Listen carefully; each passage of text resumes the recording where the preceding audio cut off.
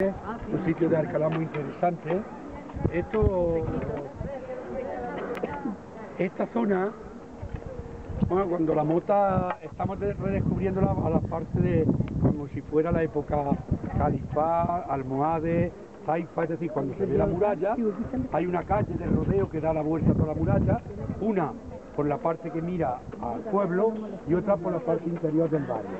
Entonces en medio se queda la muralla, mira todas las saeteras que tiene, es una es, muy interesante también el estudio que se puede hacer de la sillería, se va viendo los distintos procesos, según la sillería es más perfecta, pues califá, luego según la, la sillería va avanzando a- en otra época es almohade, almorávide, y la última, esos sillares son de tipo nazarí, es curiosísimo esto.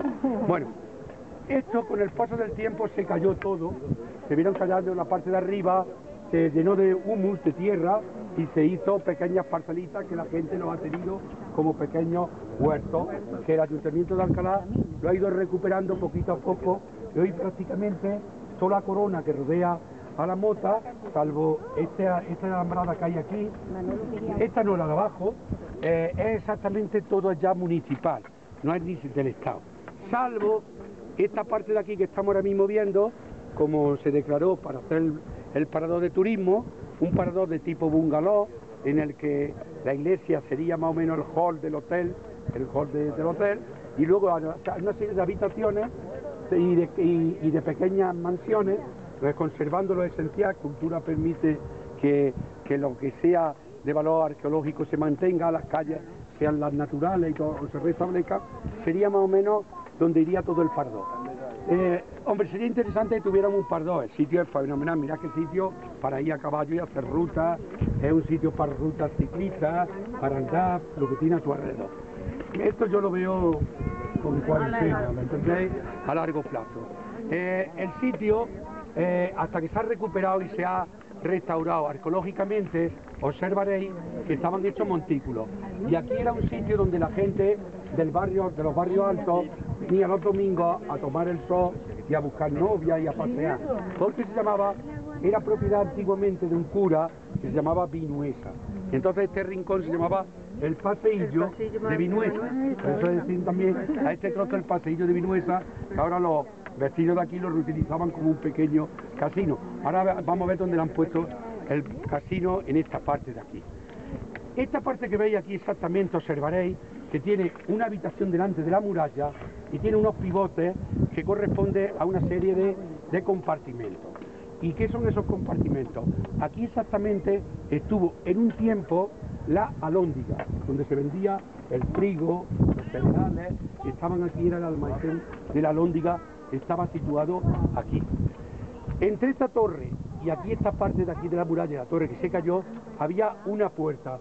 Esta era la puerta de Granada o del Cambrón. Esta era la puerta de Granada, aquí esta era la puerta Cambrón. Esta, esta es la- esta es la ca- este es el camino del Cambrón. Cambrón es, no es un cabrón. Nada, Pepe, no. No, Luego la pregunta, fíjate que luego la voy a hacer el año que viene. ¿Eh? Luego, Pepe. Es un espino, es una especie de esos espinos, esos cardos de borriqueros, esos son los cambrones. Fíjate que cabrones con espinos además, estos, estos cabrones son peligrosos. Yo pronuncio bien. Bueno, esta es la puerta cabrón. Y ahora lo que en las excavaciones últimas, que pidieron permiso, han excavado una zona donde estaba el matadero y el rastro. Porque ahí había otra fuerza del rastro pegando a la muralla exactamente. Entonces han excavado esa zona para buscar la calle que conecta con ese palenque que os estado comentando a lo largo del recorrido. ¿eh? Entonces por aquí había una puerta que se entraba a todo el barrio del rastro y a todo el barrio del matadero, al barrio de San Bartolomé y todo eso, ¿eh? más o menos para que hagáis idea de lo que por- hoy. Como cosa curiosa, como cosa curiosa, en lo alto de, de esta, de esta torre, en la- en la- cuando os fijéis en estas fotos históricas aquí del año 36, de los años 30 e incluso anteriores, observaréis que hay aquí cuatro clavos en esta, en esta torre.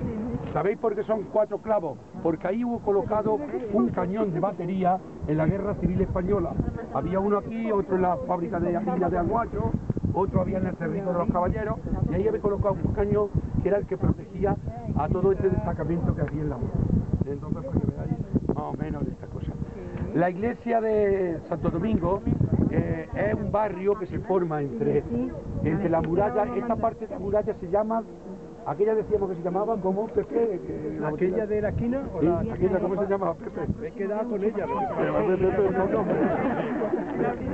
Pepe, que no es sí. El año que viene la botella no llevas. Yo sé que no me va a dar ningún precio. Ahora, bueno, bueno, luego hago una pregunta sencilla, Pepe, no me va a rápido. Ahora después bueno, tenemos una pastilla. Bueno, Pepe, la, esta parte de la muralla, esto era, se llama la muralla del Gabán, porque esto era una maravilla. La muralla del Gabán no es lo que se hoy día. Hoy día lo que se ve son lo que se llama una muralla, un antepecho, son unas paredes, una simulación de torres, dos o tres torres que eran la simulación de la anterior que había. La muralla estaba más adelantada y entre la muralla que se ve y otra anterior había una serie de plataformas que bajaban interiormente tanto hacia el barrio de Santo Domingo como hacia el barrio de, de aquí del rastro, una puerta que había ahí que se llamaba en la puerta de la casa se llamaba la puerta Azaide. Esta era la puerta Azaide y se pasaba por aquí y salía fuera de la ciudad. Eh, el Gabán se llama así porque esas bóvedas eran cubiertas de medio cañón y en árabe significan esa bóveda de medio cañón, se llama Gabán.